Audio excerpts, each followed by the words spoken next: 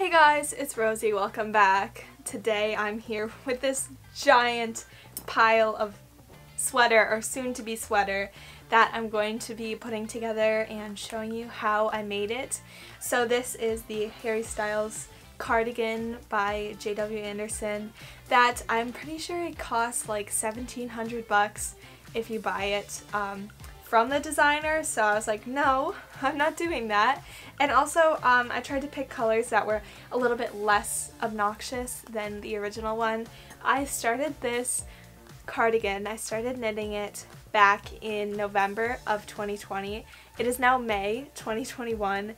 Um, I did take two months off in the middle. Honestly, you could make it a lot faster if you spent more time on it. Now I just have one more piece of ribbing to knit, which I'm going to show you guys how to do that and I have to knit the bands that go down the front on each side for the buttons.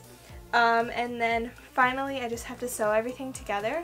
So I did start sewing together, like here's one of the sleeves for example. I sewed all of the little patches together, whatever they're called, the strips of squares together. So I do have a bunch of like pieces. I will be showing you how to knit every different stitch that's used in this. Um, I know a lot of people um, crocheted this cardigan, but I wanted to do it the traditional way um, because I know a lot more about knitting than crocheting. Um, I've been knitting a lot longer, so I want to show you what the main piece looks like. So I pinned the collar on with safety pins. I didn't sew it yet because I want to show you guys how I'm doing that. Then here is the sweater. You, you can't really see it. It's pretty giant. But um, you guys will be getting a better view of it when I actually try it on. And the first thing I'm going to do is show you guys how to do each stitch. So I think we might start off with just doing the ones that are on the straight needles. So for this whole sweater, I used size 7 needles um, because I have a larger knitting handwriting than everybody else, or than the pattern suggested, I guess. I used mostly the red heart yarn, so I think it was just generally medium weight and in the video um, that the designer released they suggested to use multiple strands of it. I did not so this sweater is a little bit lighter weight I think than um, was intended but I think that's fine because this thing is giant. So this first one uses the yellow yarn. The first thing you have to do is make a slip knot and then cast on 18 stitches. Just cast on like you're knitting, pull the loop up and over the needle like that, up and over until you get to 18 stitches. So here are 18 stitches. Um, it's pretty tight, so you're generally going to want it to be 14 centimeters wide. I didn't do that this time, but I just want to show you what the stitch is. So first you knit, and you alternate knitting and purling for the whole row. So you go knit, and then you bring the yarn over, purl, and then knit, purl, all the way to the end of the row.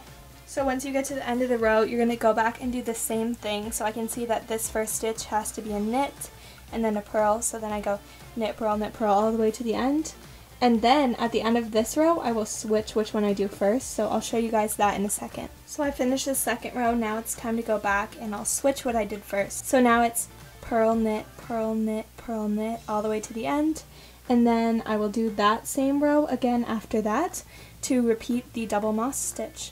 Here's what it looks like after I completed the first four rows. So I'm going to show you what it actually looks like on my sweater because this is just a sample. I just wanted to show you guys how to do it. I also want to talk about the single moss stitch, which is the black stitch on this sweater. So with that one, you just do exactly the same thing except it's one row of knit, purl, knit, purl, and then purl, knit, purl, knit, instead of two of each. So here I'm going to show you what it looks like on my sweater. Here's a little section. This is what the yellow double moss stitch looks like. And then here is the single moss stitch, so it's a little bit more compressed. You can't really see it that well, it just looks exactly like this, except um, with fewer rows in between. So I'm not going to show you how to do that one because it's basically the same thing. This next stitch is called the reverse bee stitch. It's the one that you do in green. First thing that you do is knit the first row because you can't immediately start the pattern. It doesn't work. So after you've knit the first row like this, then we get started with the actual pattern. So you knit the first stitch, and then you do something called knitting one below, which is you put your needle into here, this little hole that opens up when you spread your needles out. Put it through here, and then pull it through, and just pull the loop off the hook. That's what makes the little bee design. Then knit, then knit one below down here, knit, knit one below, all the way to the last two stitches. So once you get to the last two stitches, you just knit them both.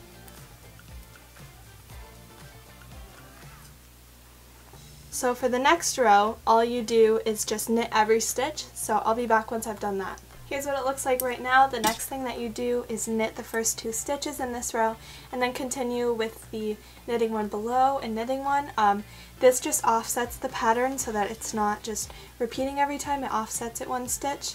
So here you knit two and then repeat the pattern to the end. So knit one, knit two, and then knit one below here, knit and then when you get to the end, turn it around, and then you knit the next row completely. And then after that, I'm going to show you it, but then you just continue these four rows. So you do the first one where you knit the two at the end after doing the knit, knit one below, and then you knit a row, and then you knit the first two, and then knit one below, and continue that to the end and then you knit a row and start over. So I'm going to knit this row and then show you what it looks like. So here's what it looks like now after I did the first four rows plus the first knit row and casting on. So I'm going to show you what it looks like on the sweater. So here's what the stitch looks like. I actually did it inside out. This is on the inside of the sweater because I do like this side better. You can do it either way if you want, but I do believe that this is the side that you are intended to see. As you can see the little like beehives I guess they are. So now I'm going to move on. I'm just going to talk about the garter stitch real quick. This is, every row is knit. So I don't want to show it to you guys because I'm guessing you already know how to knit if you've seen the last two squares. You just knit normally for the whole 14 centimeters, so I'm not going to show you how to do that because I'm assuming you already know how to do that. So the next one I'm going to show you is this one, and then I will do this one. So I'll be right back once I get that yarn. So this next stitch is called the jersey slip stitch. Um, I already did the first two rows so I cast on and then I did one row of knit and one row of purl. Um, I'm not going to show you guys that because I assume you already know how to do that. So the first thing you do is you knit the first stitch. Then here you're going to pull it like you're going to purl except you just slip it onto the next needle, that's called a slip stitch. Then you knit so you alternate between knitting and slip stitching down the row until the last two. Once you get to the last two, you just knit both of them. So here's what it looks like right now. It's going to start looking very stretchy as the slip stitches continue on. So after this, you purl one row, and then I'm going to do one more row of the knit and slip stitch just so you guys can see what it looks like, but you just repeat purl and slip stitch and knitting alternating rows. So here's what it looks like so far. So here's what it looks like after I did the second slip stitch row and I'll show you in a second what it looks like once you do the whole 14 centimeters. So next I'm going to show you the jacquard stitch, I think that's how you say it. Here is what the stitch looks like when it's done and then here's the next one I'm going to show you guys. So this one is a little bit more complicated, you do have to work with two colors of yarn at once as you can see here. So it is kind of interesting but I'm really glad I was able to learn how to do it because I think I'll be able to use this in other projects also. So for this next stitch you have to follow this stitch chart here. I cast on my 18 stitches and it looks like the first stitch here is going to be red. So you have to read it this direction when you're knitting this way and when you're knitting on the back side you read it backwards. So here it appears that I have to do one red stitch here. So one red stitch and then I'll put my needle through and then I have to do black. So I pull in the black by just, I just loop it over my needle like that, putting the tail end on the right. Then I pull it through and knit and make sure I am kind of careful about it because it could pull out at this point. So then I knit six more in red, so you want to take them in behind and then you just pull the red over I try not to get them too twisted behind the project. So knit five, six actually. Two, three, four, five,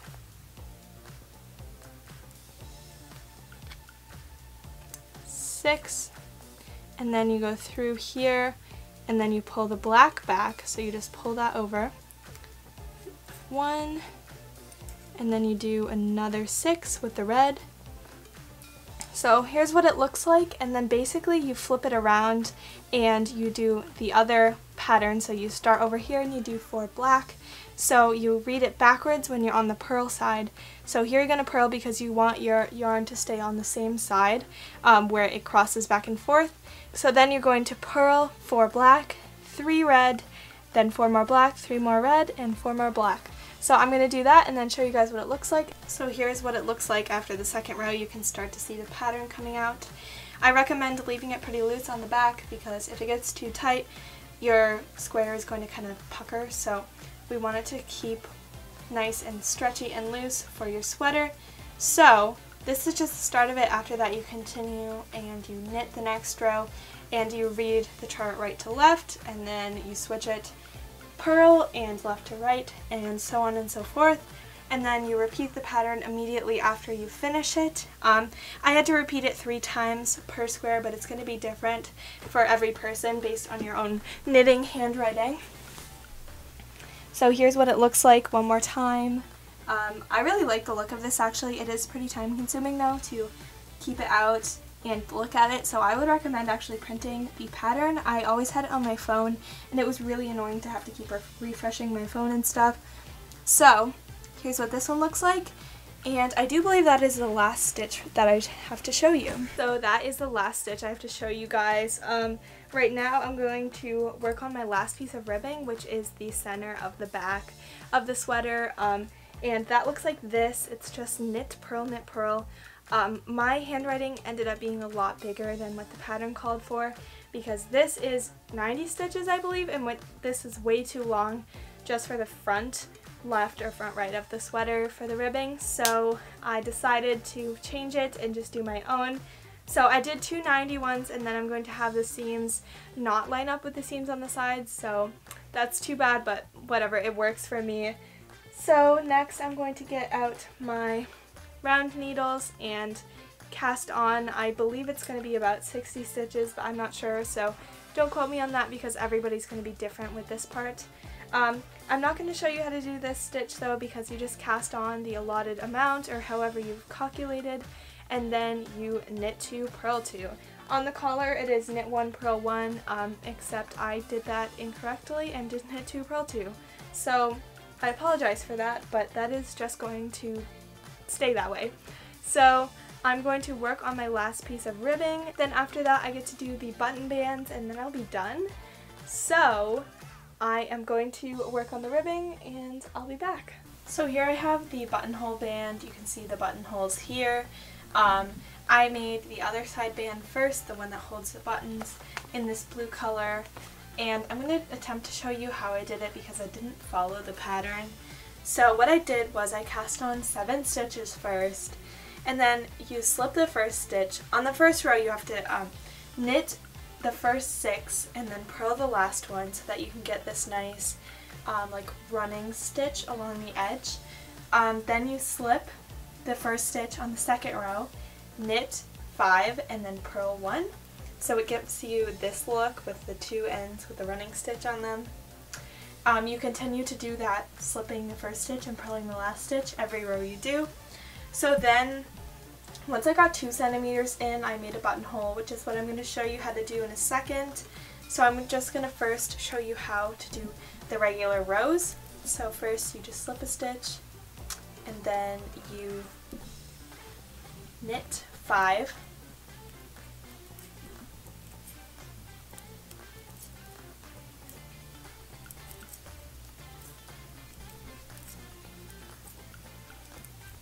and then you just purl the last stitch.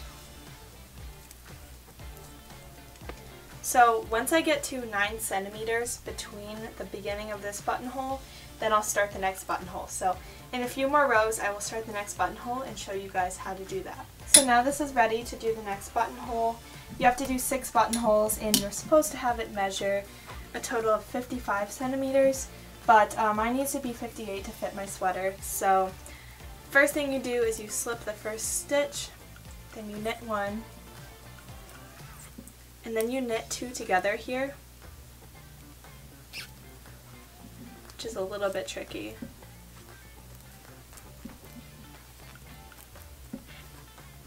And then you knit two,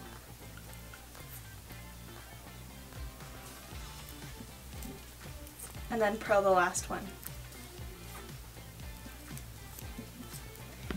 Your work around for the next row, then you slip the first stitch, you knit two here,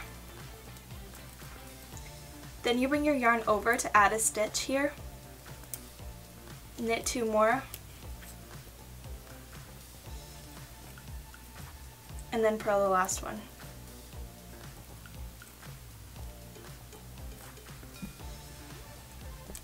So then you go back to knitting normally, so you slip the first stitch, knit the next five, and then purl the last one.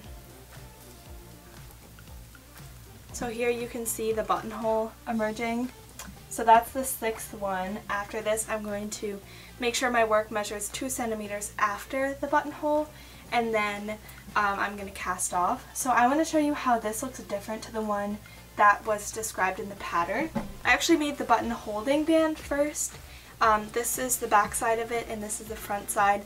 So it looks pretty much the same. You're using kind of like a modified bee stitch, so it's kind of interesting. Um, and this took me a lot longer than doing the button band, just because here I was only knitting and then doing the slips and the purls on the sides. Um, so I would definitely recommend knitting instead of doing the pattern way. Um, I'm going to put this on my sweater for now, but um, in the future I might switch it to match this. I don't think they look too different to be honest, but um, they'll be fine for now. I think I might have to steam this before I put it onto my sweater though. So next I'm going to start sewing on the last pieces. Um, while I was away I connected my sleeves and put on my bottom ribbing so finally I have to put these two pieces on and then connect the collar and then I'll be done. So I'm going to grab my sweater and start putting on the collar and I want to show you guys how I do that. Now I'm going to show you guys how to attach the collar and just generally how I sew stuff on. So here is where the collar goes. I think it's supposed to reach from this corner to this corner over here and I'm going to do just that. So I've got a pretty decent piece of this red yarn here and I kind of just like to work with it as I go, so I'm just going to attach it at the corner and see where that takes me. So here, I'm just going to put it right through here. And typically you would sew on the other side of the collar, but the seam kind of looks the same on both sides. So I'm just going to sew on this side so you guys can see it better.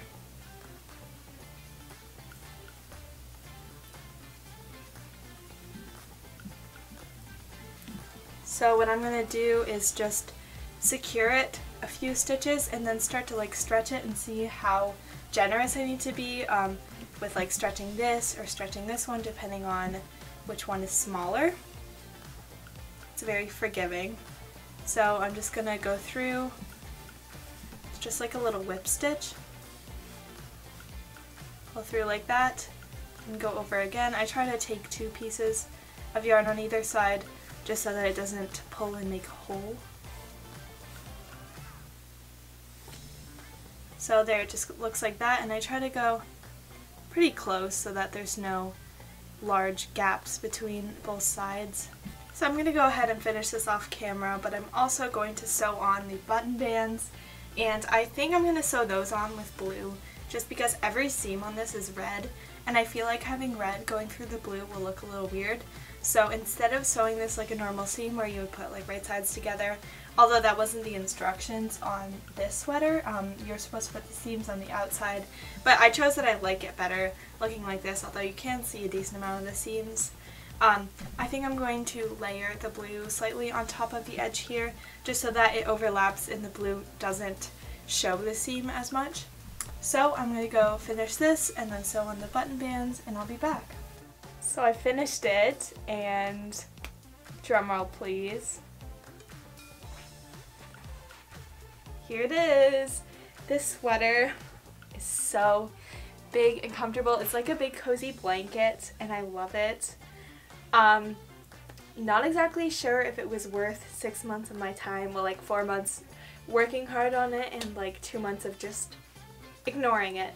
But um, it definitely wasn't worth 1700 bucks, but I'm really glad I made it. This thing is going to, it's going to get me through next winter. Of course, it's now getting really hot out, and I have to go take pictures in it, and it's like 80 degrees out, so I'm going to be baking, but here, here's what we have.